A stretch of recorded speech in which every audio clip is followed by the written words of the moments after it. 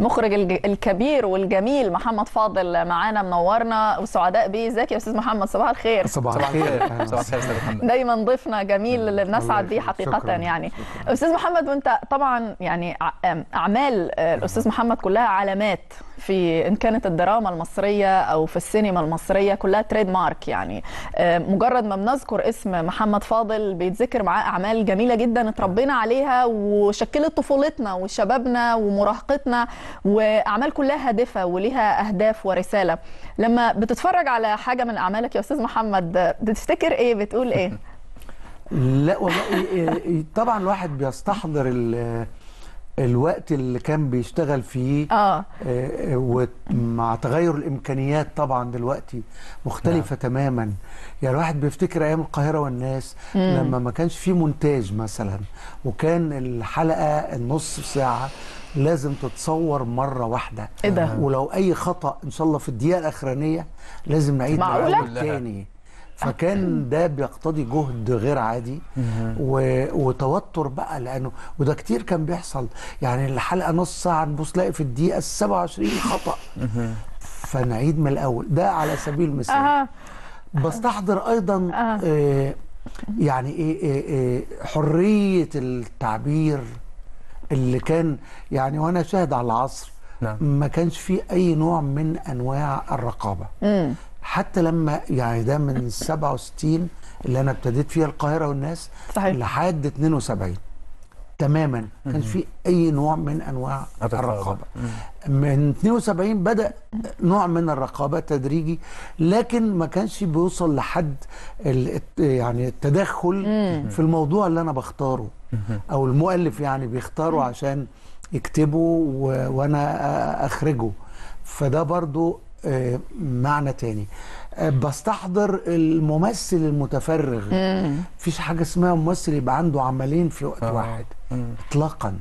لأنه كان بيذاع بيذاع مسلسل كل أسبوع. حتى بعد كده لما يذاع يوميا فما كانش فيه كميه الشغل دي صح. اللي تخلي الممثل كان في مسألة حاجة اسمها آه، البروفات أو التدريبات يعني مش أقل من شهر قبل العمل وأحيانا أكتر من كده فده كان بيخلي للتمثيل والشغل نفسه في روح تانية صحيح. حاليا ال- يعني معظم الأعمال الممثل بياخد مشهده نعم. يوم التصوير يعني مش واحيانا بيبدأ التصوير والمسلسل مش مكتوب طبعا ده دي إزاي؟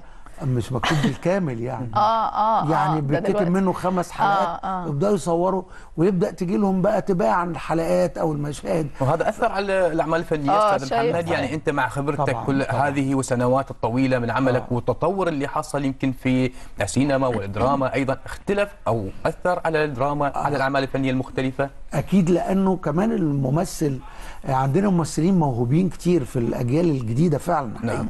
لكن مش متاح لهم الفرصة أو المناخ الحقيقي للشغل. يعني لا اللي عمل بيدرس كويس ولا بتعمل عليه مناقشات ولا تدريبات. فبيطلع أنا رأيي إن الممثل حاليا يا دوب بيأدي الكلام لكن آه. مش بيشخصه آه. ولا بيمثله. وعشان كده أنا رأيي فن التمثيل حاليا آه، بيتراجع.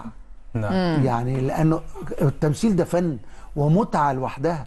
مش مجرد واحد بيقول كلام. لا طبعا لا، ده طبعا حكاية طبعا. تانية صحيح. خالص.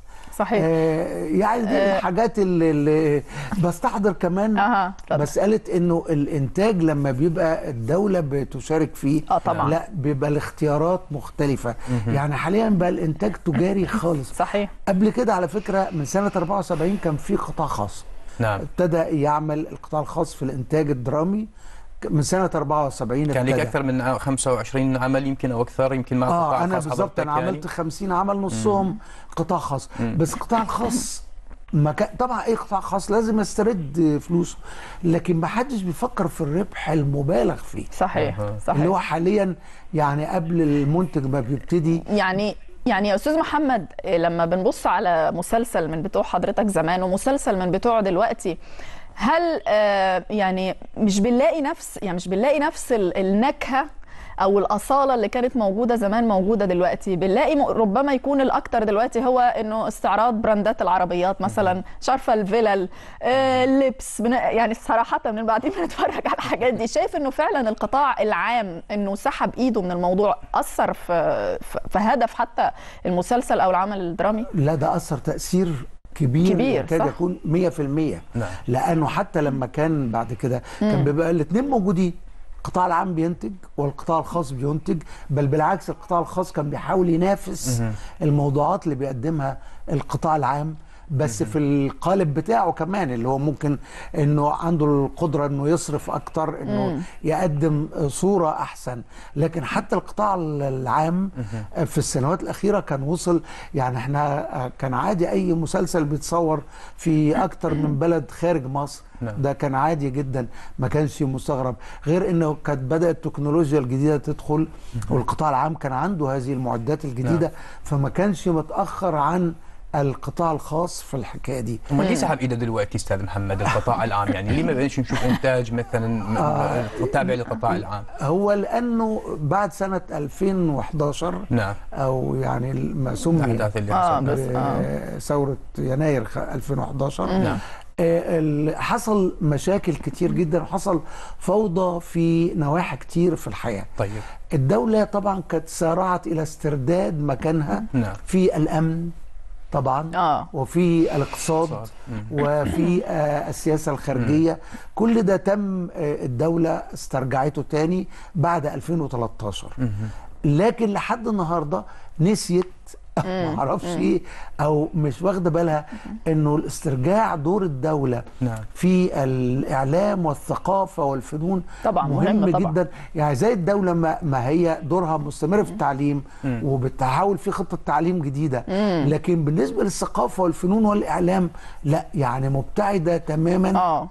هو جزء من التعليم على فكرة يا أستاذ محمد يعني هو يمكن يعني التعليم بشكل أكبر يعني. لأن الطفل أو التلميذ بيقضي نص النهار في المدرسة آه. بيرجع البيت فين بيتلقفوا الإعلام آه، صحيح. بيتلقفوا الشاشة صحيح.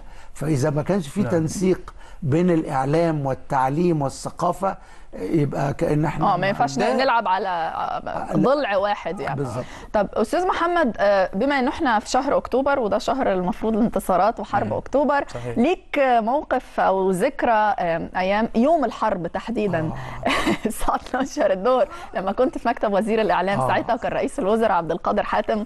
ليك موقف غير حياتك أو حصل حاجة فعلا كانت غيرت مجرى حياتك؟ تفتكر لنا اليوم ده إزاي آه وإحنا طبعا فاكره بال يعني الساعة 12 بالظبط كنت في مكتب آه، آه، نائب الأول لرئيس الوزراء وكان نعم. قائد باعمال رئيس الوزراء الدكتور محمد عبد القادر حاتم. يعني قبل الحرب بساعتين.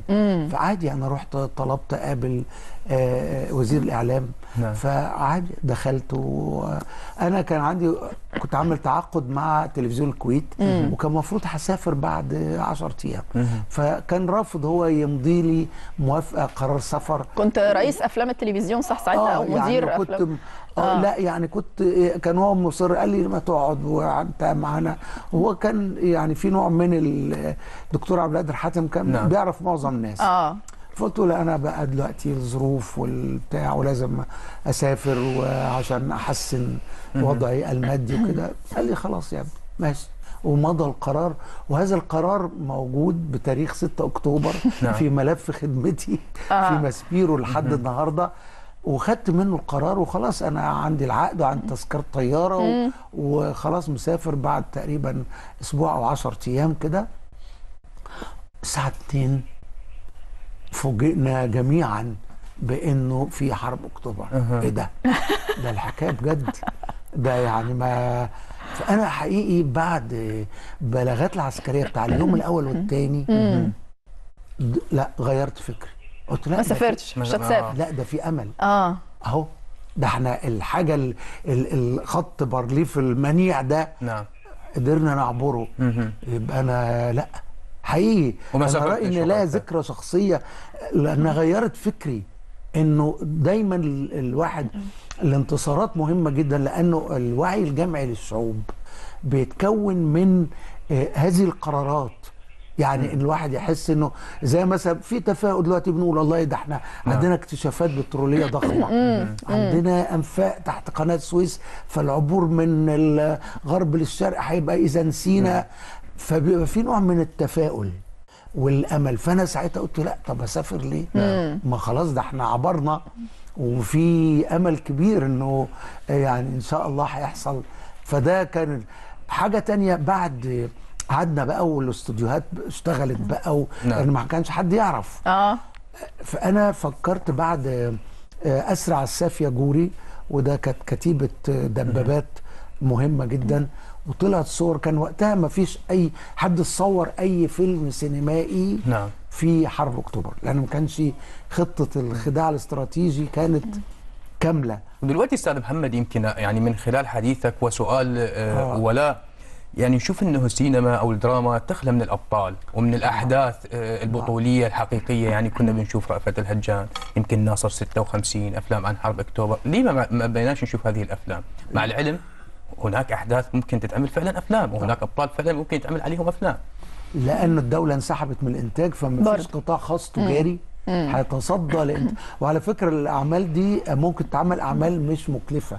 م- مش لازم أما أعمل فيلم عن الحرب آه اصرف عليه يبقى كتير. في المعارك ولا بالعكس ده الخلفية الإنسانية.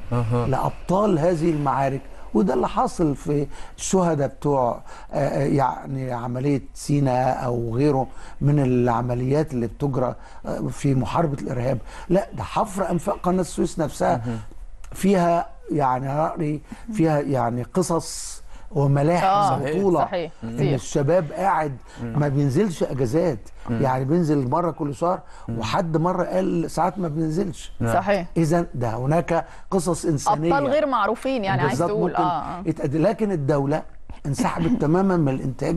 القطاع الخاص التجاري لا يمكن آه،. يتصدى نعم. للحكاية دي حضرتك شايف إنه آه، أستاذ محمد آه، شايف يعني كان ليك تصريح كده بتقول فيه إنه مشاهدة ال- ال- الدراما المسلسلات على اليوتيوب ده بيضر بالعمل نفسه ليه ليه بقى دي على فكرة كارثة لابد إن الإعلاميين في كل البلاد العربية نعم. تتنبه لها لازم يحصل أساتذة إعلام وأساتذة الاجتماع السياسي نعم. وأساتذة علم النفس ليه طيب؟ الاجتماعي د- شوف اولا التلفزيون يوم ما اخترعوه.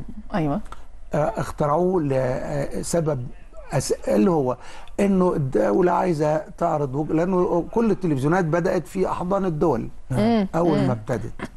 آه، عايزة تعرض وجهة نظرها عايزة تعرض أخبارها عايزة تعرض سياستها وبالتالي هذا الجهاز أصبح عضو أساسي في الأسرة. صحيح. طيب. وكان بقى بتحط الدراما والمنوعات والبرامج لجذب المشاهد نعم. عشان يقعد قدام تلفزيون. التلفزيون لأنه مستني المسلسل فهيشوف نشرة الأخبار نعم.